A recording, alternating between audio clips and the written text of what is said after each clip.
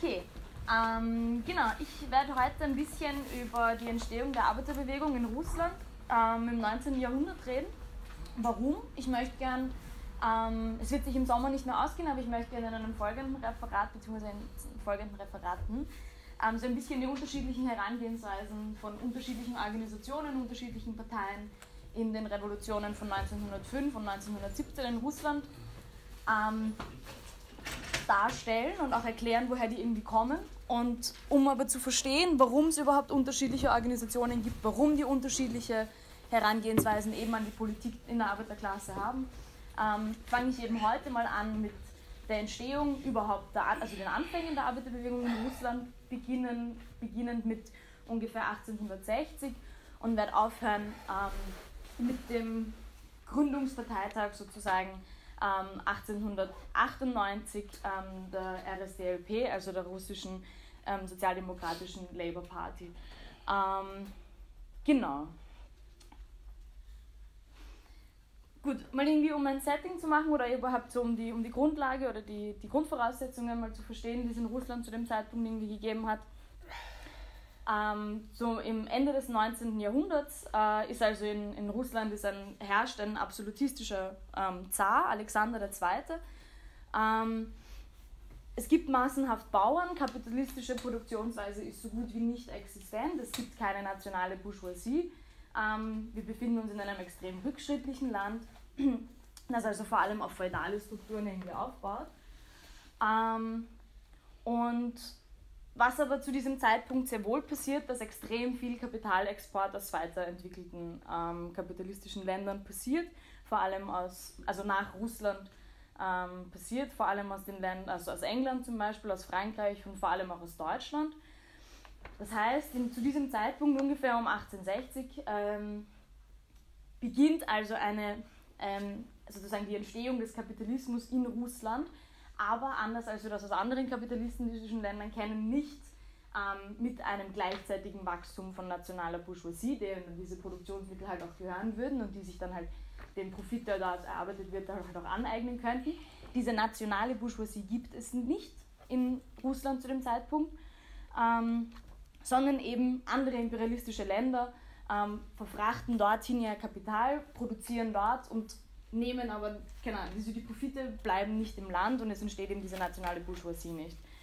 Ähm, gleichzeitig ähm, zerfällt, zerfällt aber halt irgendwie das, das zaristische System nach und nach, ist halt grundsätzlich schon ähm, äh, recht instabil, hat irgendwie, es gibt schon Bauer, äh, Bauernaufstände regelmäßig.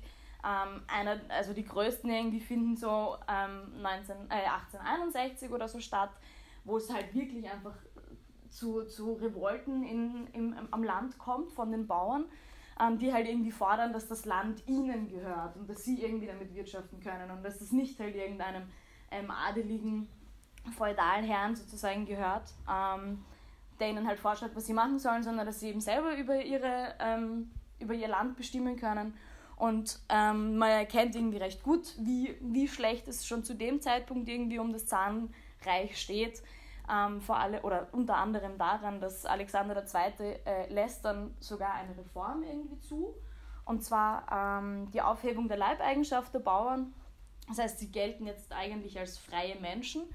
Ähm, im Endeffekt bedeutet das aber für die Bauern absolut keine Verbesserungen, ähm, weil die Bedingungen, die mit dieser Freiheit kommen, für sie einfach wirtschaftlich gesehen enorme Verschlechterungen mit hertragen und sie haben viel höhere ähm, Steuern zu zahlen, als sie es davor hatten, müssen sich noch dazu um ihr eigenes Land kümmern, stehen also jetzt irgendwie noch mehr in Konkurrenz mit anderen Bauern. Also im Endeffekt hat das irgendwie in der wirtschaftlichen Lage nichts geändert. Und es gibt also in diesem Land ähm, extreme Unruhen und extreme, extreme Unzufriedenheiten, die aber irgendwie keinen Ausdruck finden können. Es gibt keine Organisation, es gibt keine Klasse, die diesem Unmut halt irgendwie ähm, Ausdruck verleihen könnte. Oder die auch dem System einen, einen Kampf anzeigen könnte. Ähm, genau, also so mal irgendwie das Setting, in dem wir uns befinden.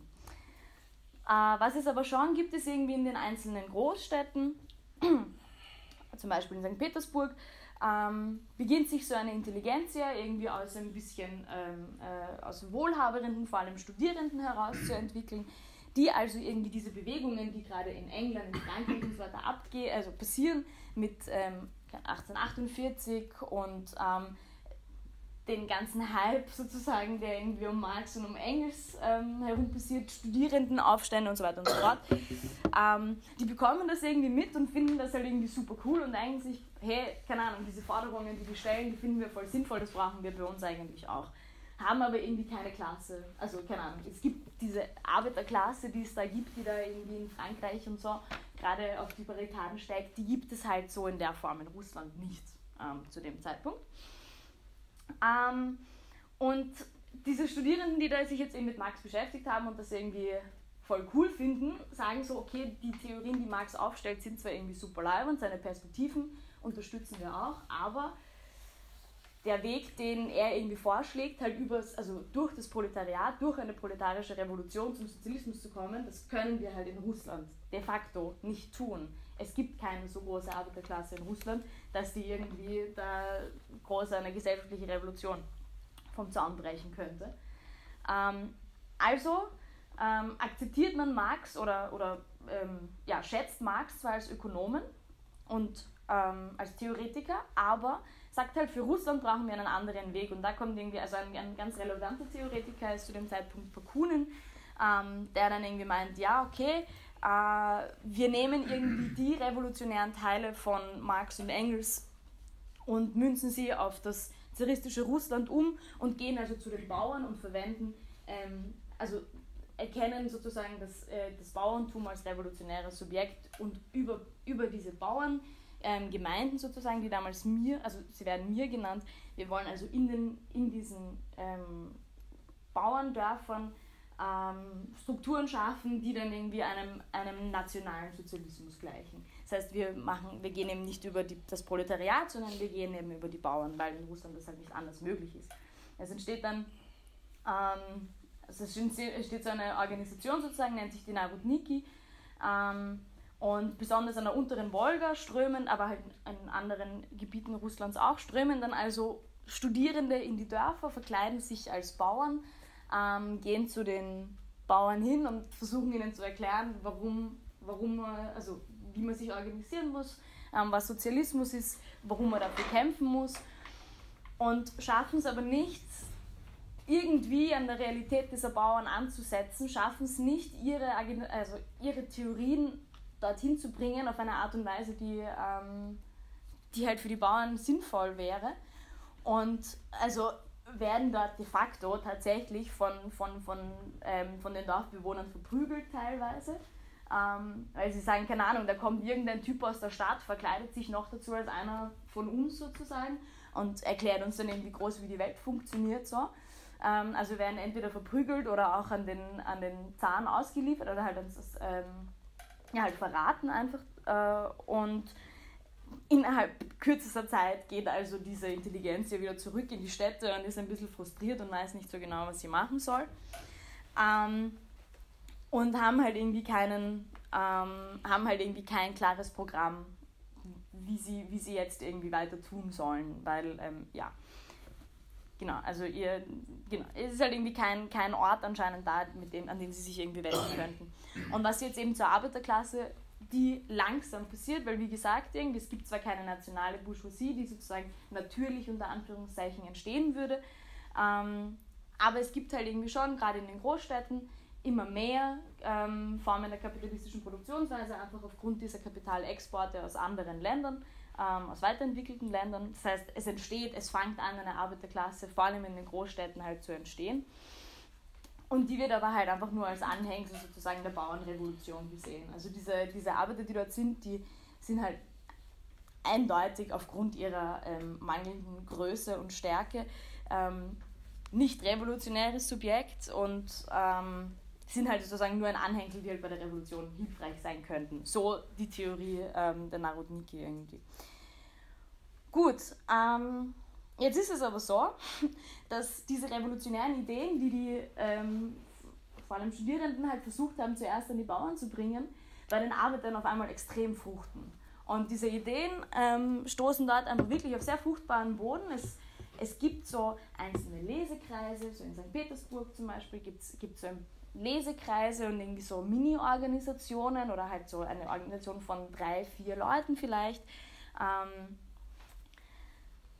und also man merkt irgendwie, okay, das funktioniert aus irgendwelchen uns nicht ganz erfindlichen Gründen ähm, bei den Arbeitern besser. Ähm, und dann sagt man, okay, gut, ihr seid urmotivierte Leute, geht in die Dörfer, versucht den Bauern das zu erklären, warum das irgendwie ultra geil ist und lauft in die Dörfer zurück und es passiert irgendwie dasselbe wie vorher. Die Bauern haben kein Interesse irgendwie an einer, ähm, also an, ein, an, einer, an einer sozialistischen Machtübernahme und sagen halt, oh, dann mich interessiert das nicht und in binnen kürzester Zeit sind irgendwie wieder alle, also ist wieder alles auf Anfang und ähm, es stellt sich jetzt also ernsthaft die Frage, okay, ähm, warum funktioniert da irgendwas nicht? Und ähm, voll sehr lustig, ähm, Nikolai Tchaikovsky, den man vielleicht eher als ähm, Komponisten kennt, äh, ist, ist Teil einer der ersten Propagandazirkel, die es eben in St. Petersburg gibt. Ähm, und das sind, eine dieser, das sind eine der ersten Organisationen, die sich theoretisch ähm, mit der sogenannten Arbeiterfrage auseinandersetzen. Also ähm, die sich halt irgendwie die Frage stellen, warum, warum funktioniert das auf der einen Seite schon und auf der anderen Seite nicht. Ähm, und langsam bemerkt man halt, okay, diese, Revolution, also diese revolutionären Ideen verbreiten sich halt irgendwie unter den Arbeitern verhältnismäßig schnell. Und man ist also eigentlich gezwungen, als, Narodniki, ähm, sich damit auseinanderzusetzen, aber es wird ähm, keine Antwort darauf gegeben. Ähm, im großen Stil und wahrscheinlich einfach deswegen, weil wenn die Antwort lautet, weil das Proletariat einfach einen revolutionären, also einen revolutionären Instinkt hat, das sich das war und nicht hat, vielleicht wollen wir später irgendwie noch genau auf die Frage eingehen, ähm, äh, warum dem so ist, aber ähm, diese Frage wird einfach nicht beantwortet, weil was würde das bedeuten? Das würde bedeuten, dass es irgendwie, also aus ihrer Sicht würde das halt bedeuten, man müsste jetzt mal warten, bis Kapitalismus voll etabliert ist und dann könnte man es Revolution machen. So, das ist irgendwie so die Grund, also das ist halt die Vorstellung, die sie irgendwie von Marx Idee haben und auf das wollte sie sich halt irgendwie nicht einlassen. Das heißt, mit dieser Frage der Arbeit, da setzt man sich irgendwie noch immer nicht so auseinander. Ähm, in den 70er Jahren ähm, äh, hm, gibt es ein bisschen ähm, wirtschaftliche Unruhen und ähm, gerade in den, ähm, also es gibt einen gibt einen, in 1877, 1878 gibt es einen großen, recht großen Boom in der, in der Ökonomie. Ähm, und das bedeutet irgendwie für die, für die großen, ähm, für die Großstädte und für das Kapital, dass es einen rechten Wirtschaftsaufschwung gibt. Gleichzeitig bedeutet das aber auch für die, für die kleineren Gegenden in den Dörfern, dass das Leben ein bisschen unerträglicher wird. Ähm, es, kommt, es kommt auch dazu, dass es irgendwie Naturkatastrophen gibt und so. Also das Leben am, am Land ist irgendwie recht furchtbar und es kommen immer mehr Bauern in die Städte, möchten in großen, halt in der Industrie irgendwie arbeiten, wo sie es halt vielleicht doch schaffen, ähm, ihr Brötchen zu verdienen. Ähm, genau, und es beginnt also eine recht große Industrialisierung in den 70ern, 1870ern.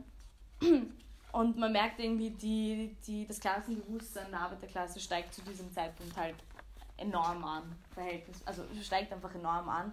Und es beginnen sogar sich so einzelne ähm, Unions zu gründen, also ähm, Gewerkschaften zu gründen. Ähm, zum Beispiel ähm, im Süden und im Norden entstehen halt unterschiedliche Gewerkschaften, die sogar nicht nur in einem Betrieb, sondern halt überbetriebs, überbetrieblich funktionieren. Ähm, und das Motto dieser Betriebs, ähm, dieser Gewerkschaften ist also, ähm, dass die Rechte der Arbeiterinnen und Arbeiter halt irgendwie nur dann erfüllt werden können oder halt beachtet werden können, wenn es irgendwie eine gewaltsame Revolution gibt, ähm, die jegliche Privilegien und Ungleichheiten ähm, zerstört. Ähm, also diese Revolution eben ja, hat, hat die Macht oder hat irgendwie die, also schafft es also jegliche Ungleichheit und jegliches Privileg zu zerstören ähm, und gleichzeitig die gesellschaftliche Arbeit als Ursprung ähm, für privates und Gesellschaft, also für privaten und gesellschaftlichen Reichtum zu verwenden. Also eigentlich schon ein rechtssozialistisches Programm. Ähm, diese Gewerkschaften sind irgendwie voll beliebt ähm, und erhalten viele Stütze, Unterstützung und werden gerne gehört. Und ähm, für das Zahnreich äh, ist es halt irgendwie ein besonderer Dorn im Auge. Und es wird alles dafür getan, dass sie irgendwie nicht länger existieren und nicht größer werden. Und sie werden also wirklich gewaltsam einfach regelmäßig ähm, mit Durchsuchungen und, und, und, und Hängungen und ich weiß nicht. Also diese ähm, Gewerkschaften werden einfach wirklich regelrecht zerstört. Ähm, und es passiert aber, dass die, obwohl, obwohl es irgendwie permanent furchtbare Zustände in diesem Land gibt, ähm, und also, ich weiß nicht, wenn man, wenn man so ein bisschen Biografien von irgendwelchen Narodniki liest, schreiben halt, keine Ahnung, es ist normal, dass in den Großstädten jeden Tag Leute gehängt werden und dass das halt am Hauptplatz irgendwie passiert und dass das jeder weiß. Das ist irgendwie gang und gäbe. Und obwohl es irgendwie so eine repressive Stimmung im Moment gibt, ähm, ist dann 1877, äh, 76, ach oh Gott, oh Gott, Zahlen, 1876 eine Riesendemonstration in St. Petersburg, die angeführt wird von Plechanow. Und diesen Namen kann man sich merken, der also auch unter dem, ich werde noch auf ihn zurückkommen, der also auch unter den Fahnen der Narodniki läuft und ähm, diese gesamte Demo, diese ganze Demonstration läuft also unter dem Banner ähm, Land und Freiheit. Das heißt, es ist noch immer eine Forderung, die sich irgendwie auf die Bauern konzentriert. Einerseits, indem sie halt Land für die Bauern, für die Selbstorganisation der Bauern irgendwie fordert und auf der anderen Seite aber halt auch politische Freiheit und schon mit dem Slogan ähm, Lang lebe die sozialistische Revolution auf die Straßen geht.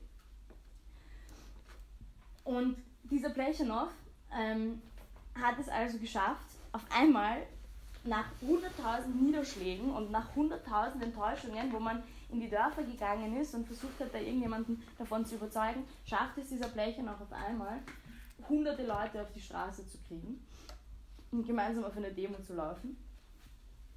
Und er ist einer der ersten, der irgendwie erkennt, okay, ähm, und er ist zufällig stationiert sozusagen, also er arbeitet zufällig ähm, in, einem, in einer Stadt, ähm, eben in St. Petersburg und zufällig kommt er halt dort in Kontakt mit Arbeitern, die irgendwie diese, diese Demonstration dann auch auf die Beine stellen.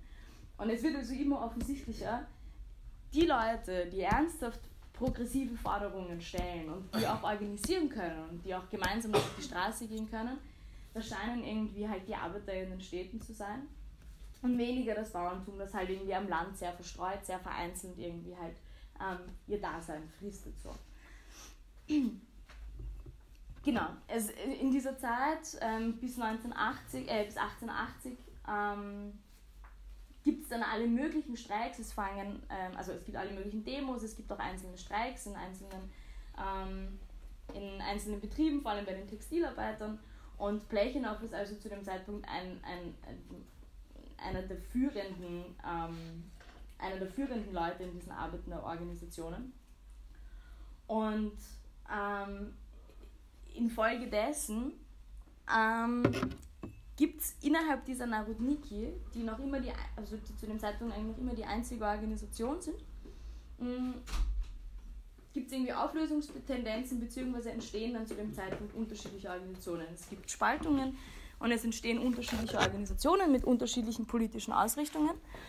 Ähm, und zwar einerseits zum Beispiel ähm, die Lavrov, die ähm, auf friedliche Propaganda in den Dörfern setzt, die, ähm, also wenn man sich das dann historisch anschaut, äh, in den Jahren 1905 und 1917 dann schlussendlich zu liberalen Reformisten werden. Darauf werde ich aber eben in meinem zweiten Referat ein bisschen näher eingehen. Dann gibt es noch die Narodnaya Volia, ähm, die die Freiheit der Bauern fordert und die eben eher auf, äh, auf die Propaganda der Tat setzen, wie sie es selber nennen. Ähm, das ist eine Geheimorganisation, die extrem straff organisiert ist und die halt eigentlich eine Terrorgruppe ist und die dann auch halt so individualterroristische ähm, Anschläge auf Beamten, auf Polizisten, im Endeffekt auch auf den ähm, Zar Alexander II. verübt und versucht eben so das System zu schwächen. Ähm, und dann gibt es aber auch noch eine Organisation, die sich nennt Czerny Peredl, oder wie auch immer man sie ausspricht. Ähm, das viel bedeutet wie ähm, schwarze Neuaufteilung. Ähm, und diese Gruppe, diese Gruppe ist zwar noch immer davon überzeugt, dass es eine Revolution gibt oder geben muss, ähm, die vom Land herkommt und ist zwar ein bisschen isoliert, aber in dieser Gruppe bleibt irgendwie Plechanow und sagt und versucht in dieser Gruppe ähm, den Diskurs oder halt die, den Fokus der gesamten Arbeit weg von, von der Bauernschaft und hin zur, zur Arbeit, also zu den Arbeitern und Arbeiterinnen ähm, zu orientieren. Muss dann aber selber 1818 ins Exil gehen mit einigen anderen. Ähm, und als es dann ähm, ein Jahr später zur Ermordung des Zaren Alexander II. eben kommt, durch, einen, durch einzelne Terroristen, eben dieser ähm, Narodnaya Volia, ähm, gehen also so gut, also äh, gehen die meisten Organisationen oder die meisten Menschen, die ähm, organisiert sind, ähm, müssen entweder in den Untergrund gehen oder sie werden oder sie sterben oder ähm, sie gehen ins Exil oder wie auch immer. Ähm, und zum Beispiel Nadot Maya zerfällt einfach de facto vollständig. Sie ist ähm, danach nicht mehr existent. Aber auch irgendwie total liberale und ähm, reformistische Gruppen ähm, sind zu dem Zeitpunkt extrem gefährdet und es entstehen eigentlich lauter Untergrundbewegungen. Und Plechanow, der zu diesem Zeitpunkt eben auch ins Exil, im Exil ist, ähm, äh, tritt dann in Kontakt mit deutschen französischen Marxisten, ähm, ist irgendwie auch in, regen, in regen Kontakt mit Marx und Engels. Und ähm, er beschließt dann irgendwie, okay, ähm, er, bricht irgendwie, er bricht irgendwie ganz äh, mit, diesen mit allen anderen Organisationen, versucht aus dem Exil heraus ähm, marxistische Theorien ähm, zu verbreiten. Ähm, und schreibt auch, ähm, schreibt auch einige sehr interessante Schriften, wie zum Beispiel Socialism and the Political Struggle, den schreibt er zu dem Zeitpunkt, oder auch Our Differences. In Our Differences geht es irgendwie genau darum, wie er mit der, ähm, wie er mit der Narodniki bricht und was irgendwie der Unterschied zwischen, Anarcho, also zwischen so anarchistischen ähm, und individualterroristischen Organisationen und einer ernsthaft marxistischen Organisation ist. Also wenn man Interesse daran hat, ist ein, glaube ich, sehr empfehlenswertes Buch. Und im September 1981 ähm, werden dann, also wird dann also die Group for the Emancipation of Labour gegründet von fünf Mitgliedern, die alle im Exil sitzen, nämlich von Plechanow, von Axelrod, von Sasulic, Deutsch und Ignatov. Einer von ihnen, Ignatov, stirbt kurze Zeit später, der nächste sitzt kurze Zeit später im Gefängnis. Das heißt, ihre Stärke und ihre Einfluss, ähm, also ihr Einfluss hält sich verhältnismäßig in Grenzen. Und trotzdem, obwohl sie irgendwie so eine kleine Gruppe sind, bekommen sie gerade unter den Arbeitern halt in den Großstädten erheblich mehr Einfluss, als alle Organisationen das davor jemals geschafft haben. Es werden in Schulen und in Betrieben werden, ähm, also nein, in Betrieben werden Schulen eingerichtet, wo man dann gemeinsam Texte von zum Beispiel Plechanow oder von Marx liest. Es gibt, es gibt ähm, Lesekreise ähm, und es entstehen also langsam wirklich so ernsthafte Arbeiterkaderorganisationen, die sich mit marxistischer Theorie auseinandersetzen und ähm, eben erkennen, dass die Revolutionären, dass, dass, dass der revolutionäre Teil der Gesellschaft ähm, auch in Russland ähm, das Proletariat ist. Es treten dann alle möglichen Gruppen auf, also es entstehen in unterschiedlichen Gebieten oder in unterschiedlichen Städten halt solche Gruppen ähm, und Sie haben aber irgendwie keinen gemeinsamen Nenner, also sie funktionieren halt irgendwie alle nicht gemeinsam, sie sind nicht gemeinschaftlich, äh, gemeinschaftlich organisiert. Und eine große Hungersnot in Ende der, also Anfang der 90er Jahre, ähm, führt dann dazu, dass es massenhafte Streiks gibt. Also einfach unzählige Streiks in unzähligen ähm, Betrieben und in, in unterschiedlichsten Branchen. Ähm, und das ist irgendwie so der Aufhänger, an dem sich dann eben diese Marxisten, ähm, also den sich diese Marxisten nehmen und versuchen über diese Streiks, die also überall stattfinden, einen gemeinsamen Nenner zu finden für alle diese Gruppen, die da entstanden sind. Und es wird interessanterweise zu diesem Zeitpunkt gemeinsam mit kleinbürgerlichen und liberalen und ähm, allen möglichen anderen ähm, Gruppierungen werden gemeinsam Streiks organisiert und innerhalb dieser Streiks gibt es halt irgendwie hart ideologische Kämpfe und sie sagen, okay, wir kämpfen alle dafür, dass irgendwie unser Leben ähm, nicht zerstört wird irgendwie durch ein total parasitäres System ähm, ähm, des Zahntums. Aber wir streiken zwar irgendwie gemeinsam, aber wir marschieren ganz klar von, also wir, ähm, halt hintereinander oder unter unterschiedlichen Fahnen und wir sind ganz klar voneinander zu erkennen und ähm, Marxisten haben also mit Kleinbürgerlichen kein Interesse, gemeinsam ähm, unter einer Fahne zu laufen. Also dieser politische Kampf wird trotzdem noch immer geführt, obwohl es irgendwie ein gemeinsames, ein gemeinsames Ziel gibt und auch eine gemeinsame Herangehensweise. Und das ist irgendwie auch der Zeitpunkt, wo diese kleinen Lesekreise und diese kleinen Kleinstorganisationen anfangen, irgendwie ernsthaft Einfluss auf die Massen zu bekommen, ähm, wo sie dann eben anfangen, nicht mehr so nur Kaderorganisationen zu sein, die sich halt irgendwie auch extrem theoretisch mit den Dingen auseinandersetzen, sondern wo sie halt wirklich anfangen, zu, ähm, also massenwirksam zu werden. Mit Forderungen wie dem 8-Stunden-Tag. Interessant, dass man das irgendwie gerade heute wieder bespricht. Ähm, oder dass zum Beispiel die Kinderarbeit ähm, verboten wird in Russland. Und ähm, zu dem Zeitpunkt gibt's ja, also ist dann irgendwie auch Lenin einer, einer der, also tritt Lenin irgendwie auch auf die Spielfläche. Ähm, und äh, Lenins Versuch, die konkrete Situation der Arbeiter und Arbeiterinnen mit marxistischer Theorie zu verbinden, ähm, stößt halt auf extrem fruchtbaren Boden zu diesem Zeitpunkt. Und ähm, also man kann dann irgendwie sagen, zu dem Zeitpunkt ist es ganz klar, dass diese ehemalig studentische, ähm, auf die Bauern gerichtete Organisationsarbeit ihren Charakter von null auf, also halt einfach zu 100 Prozent geändert hat und halt wirklich eine Arbeiterorganisation, eine Arbeiterbewegung geworden ist, die halt auch zu 100 Prozent auf Arbeiter fokussiert und orientiert. Und es dauert dann zwar noch ein paar Jahre, aber ähm, 1898 ähm, wird dann also tatsächlich die, ähm, die RSDLP gegründet. Und zwar eben diese unterschiedlichen Lesekreise, diese unterschiedlichen Streik, ähm, Posten sozusagen, ähm, diese unterschiedlichen Kleinstorganisationen in einzelnen Betrieben ähm, setzen sich irgendwie zusammen und gründen eben gemeinsam diese Partei. Das alles auch unter extrem widrigen Zuständen. Also alles ist noch immer total geheim und wenn da irgendwas groß rauskommt, dann das, also man muss extrem drauf schauen, dass auch zu dem Zeitpunkt noch ähm, nichts, so gut wie nichts irgendwie ans Tarnsystem kommt, aber das ist irgendwie so der Zeitpunkt, wo ähm, wo ganz klar ist, okay, ähm, diese revolutionäre, also unsere revolutionäre Kraft liegt irgendwie bei den Arbeitern und Arbeiterinnen. Und es dauert dann noch in etwa sieben Jahre bis zur ersten Revolution 1905. Ähm, und auch da gibt es irgendwie noch immer unterschiedliche Tendenzen und bis zu 1917 wird sich irgendwie dieser Kampf halt weiterführen. Und man kann also irgendwie, ähm, man kann irgendwie ganz klar sagen, ähm, dass der Marxismus ähm, also die Entstehung des Marxismus und die Entstehung einer marxistischen Arbeiterbewegung ist in Russland ganz klar ein, ein harter ideologischer Kampf gegen individualterroristische Kleinstgruppen. Ähm,